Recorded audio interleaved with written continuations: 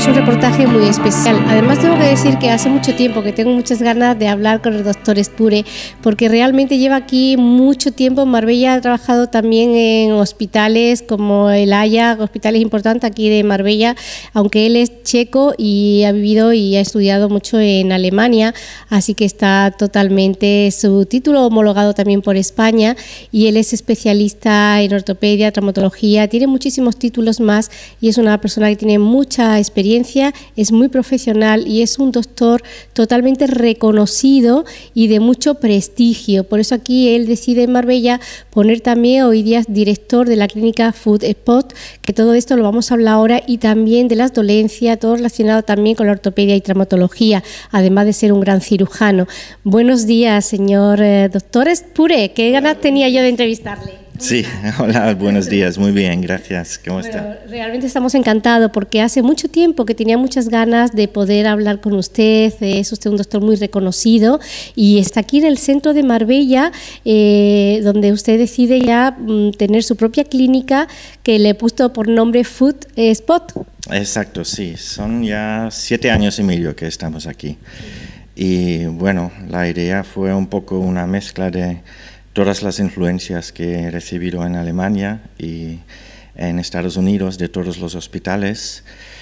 Y bueno, aquí trabajamos con eh, un equipo bastante bueno, joven y bueno, formado en varios países y eh, tratamos eh, de verdad todo el campo de la traumatología, cirugía ortopédica y especialmente de cirugía de pie y con medicina deportiva. Eh, la verdad es que nosotros escuchamos mucho hablar de usted, eh, a muchos pacientes que usted ha tratado y curado. ¿eh? entonces eso dice mucho también de un doctor que si su clínica funciona tan bien y tiene tantos clientes, por algo será. Por eso me gustaría conocer cuál es su filosofía. Bueno, pues realmente la filosofía es una hacer una correcta medicina, nada más, no hay grandes secretos. Em, lo que yo quiero conseguir es tener un círculo entero, completo, ver al paciente una examinación clínica profunda, no en 5 ni en 10 minutos ni en 20 minutos.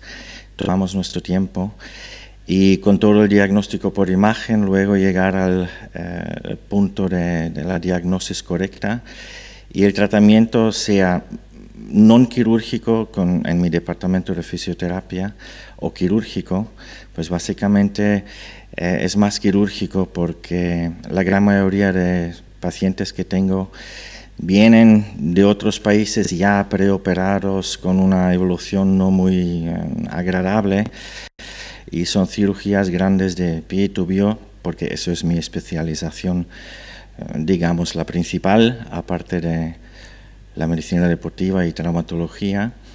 Y no hay gran secreto, es simplemente tomarse el tiempo y encontrar el problema y quitarlo de raíz. ¿Ha creado usted su propia técnica? Hay varias técnicas, no existe una técnica propia. Claro que em, hemos evolucionado un cierto tratamiento de dolor que va sin medicación, sin agujas, sin cirugía. Eso es una parte pero las técnicas, especialmente en cirugía de pie tubio, aplico según las normas de las asociaciones donde hago mucho, muchas charlas en congresos, las asociaciones europeas y alemanas de cirugía de pie y tobillo, especialmente en casos bastante um, complejos, que no estamos hablando solo del juanete, del famoso, pero son... las mujeres a causa de ese zapato con tacón, ¿no? ¿O por qué está acosado? Ya que ha salido el tema, bueno, eso realmente no es la causa, es una, una situación que puede fortalecer eh, la evolución, eh, pero realmente es genético. Y el calzado puede provocar una evolución más rápida, pero no es la causa causa del juanete. Es más un regalo de, de los madres de los pacientes. y em, Sí, solo por, por, las técnicas del antepié existen aproximadamente 130, 140 técnicas quirúrgicas que no se puede decir que un simple juanete se trata con una única técnica, depende del grado de la deformidad y de la forma anatómica del pie. Menos va que la medicina, todas las técnicas ha avanzado muchísimo, porque yo recuerdo las primeras personas que yo escuchaba que se operaban del juanete era con un serrucho, ¿eh? Como esto ha cambiado todo, ¿no, doctor? Sí, ha cambiado mucho y, y es una pena que todavía muchos pacientes tienen miedo de cirugía de pie. Y normalmente se dice, wow, no te operes del pie, eso duele mucho, nunca sale bien. Pero la verdad es cuando se siguen las normativas avanzadas, porque el mundo de pie y tobillo ha evolucionado en los últimos años muchísimo, cuando se sigue con estos protocolos, normalmente los resultados son muy buenos. Sí. Hoy por hoy, ¿qué es lo que más utiliza? ¿Es el láser? ¿Con qué métodos trabaja? ¿Con qué eh, cosas técnicas y equipo? Pues el tema de cirugía de láser o cirugía percutánea, yo personalmente eh, tengo que admitir que realmente opero las complicaciones de esa técnica. Yo no les aplico, yo pienso que es una de las, uno de los métodos que mm, son nuevos, se pueden utilizar, pero con una indicación limitada. Quiere decir como parcialmente cirugía percutánea en combinación con cirugía de verdad. Sí es correcto, pero exclusivamente eso no favorezco yo personalmente, porque tengo muchos pacientes con complicaciones que tenemos que reoperar, pero no digo que esa técnica es mala, simplemente las indicaciones cuando aplicarla eso es uno de los secretos. Y bueno, nosotros no, yo no opero solo los antepiés, también tobillos, prótesis de tobillos granatrodesis, transposiciones tendinosas, son deformidades eh, genéticos, eh, son pies después de gran traumatismos, eh, pies preoperados hay pies neurológicos con complicaciones. el mundo es bastante grande, pero aparte de eso, por supuesto, lo típico de la cirugía ortopédica, caderas, rodillas, eso sí. Especialmente en la medicina deportiva, muchas artroscopias de rodilla, porque eso es una de las lesiones más frecuentes con los deportistas. Bueno, sí, porque hablamos de deportista y siempre estamos mm, pensando, cuando usted me habla de deportista y tal, estoy pensando en clientes de una cierta edad, ya de mediana edad o más mayores. Pero, ¿qué pasa con los niños cuando nacen con los pies planos o tienen problemas? ¿Esto tiene fácil solución o es complicado tratar un piececito tan pequeño como es de un bebé o un niño? Bueno, mm, claro que tengo muchos, eh, muchos niños, pero mm, normalmente hasta la edad de cuatro años, si no es una gran deformidad, no se tocan los pies de los niños, porque necesitan evolucionar la propiocepción, tienen que aprender las fases de marcha. Normalmente, si no hay nada grave, no se tocan hasta la edad de cuatro. A partir de cuatro, sí. Em, una de la, de la patología muy importante es el pie plano infantil, que es otro mundo que un pie plano adulto. Y por estos pies sí existen técnicas, se puede hacer mucho con, eh, vale, no quirúrgicamente, con plantillas proprioceptivos, neurológicos, eh, activas, pasivas, eso sí, pero también se pueden operar bastante bien con cirugía cirugías, vale, es una cirugía que he aprendido en, eh, en Italia de profesor Pisani, el gran maestro de cirugía de pie del mundo. Eh, son, es una técnica, digamos, poco invasiva que puede corregir muy, muy bien los pies planos infantiles. Y normalmente los niños eh, se levantan el día siguiente, empiezan a correr y la gran mayoría nunca tiene problemas. Eh, fíjese que es tan importante, el pie es eh, una de las zonas más importantes de nuestro cuerpo porque sujeta todo nuestro peso. ¿Cree usted que lo cuidamos eh, poco para la importancia que tiene? Bueno, es difícil decirlo. Yo, yo veo que más y más la gente pone más atención a los pies. La verdad es que es el fundamento de nuestro cuerpo. Y como hacemos aquí también análisis de marcha y de postura computerizada, vemos mucho que cuando la base mm, de la postura no es correcta, tiene gran influencia a las rodillas, a las caderas, a la columna lumbar. También podemos hacer vídeos de la postura a base del cambio de las fases de marcha.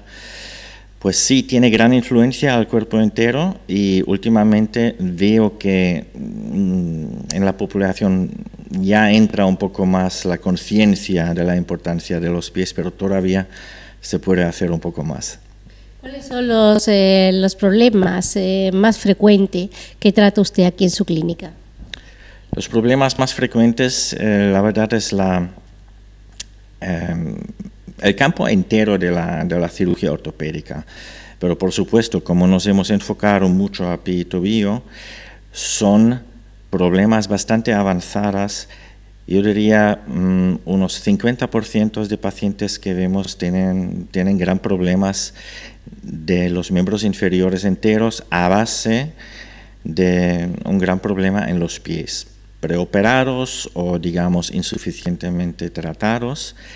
Eso es, un, digamos, la mitad de los pacientes. La otra mitad son pacientes que ya se han dado cuenta que algo no está correcto y vienen para buscar solución antes de ser operados. Y eso es algo que me gusta porque para nosotros es importante enfocarnos a la prevención, aparte de la cirugía o el tratamiento, y crear una conciencia en los pacientes que se puede hacer mucho antes que desarrolle un problema.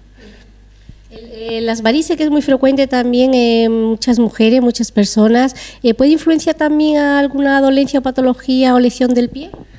Pues las varices, por supuesto, pero eso es totalmente otro campo, es eh, más el campo de los cirujanos cardiovascular eh, porque la causa del dolor de los pies es más por circulación y no es por una deformidad, digamos, de huesos. Em, y una cooperación entre, digamos, un cirujano ortopédico, cirujano cardiovascular, cirujano eh, plástico y también la medicina interna, mm, veo yo muy importante. También con eh, los fisioterapeutas que pueden hacer un trabajo muy bueno. ¿Alguna recomendación antes de finalizar la entrevista? Porque sé que luego vamos a hacer un recorrido por sus instalaciones, pero antes eh, me gustaría que diera algún consejo, alguna recomendación de forma preventiva. De forma preventiva, vale, es bastante simple. Ah, digamos, el grupo de pacientes sanos, digo, sanos, ah, en mi opinión, lo más importante es ver una vez cada tres meses un fisioterapeuta para digamos, un análisis más o menos de las fases de marcha, de la postura y mirar los pies en el sentido, lo que veo yo, muchas veces se compran los zapatos muy cortos y así ya la forma de caminar es diferente, eh, la forma de carga es diferente y empiezan problemas que, son, que no son necesarios. Plantillas, en mi opinión, eh, soporten, no corrigen solo, pero soporten eh, el pie, soporten la postura y pueden ser útil por, digamos, gente que quieren hacer deporte, que camina mucho.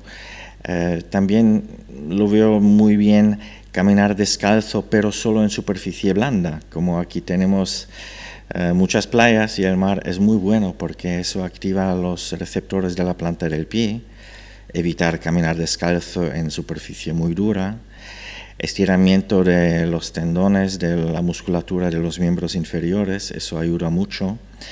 Y un fisioterapeuta puede verlo rápidamente, sin problemas, antes que tiene que entrar en mi consulta. prevenir que curar, pero siempre si nos ponemos en mano para cualquier problema, eh, no dejarlo mucho tiempo en manos de profesionales como es el doctor Espure, que ha sido un placer para nosotros estar aquí y Muchas gracias por recibirnos en su casa, en su consulta, también como lo ha hecho. Si le parece, damos miramos un poco las instalaciones y algún paciente que estará por ahí también. Por supuesto, hay pacientes y están de acuerdo. Espero que van a decir buenas cosas. Muchas gracias, doctor.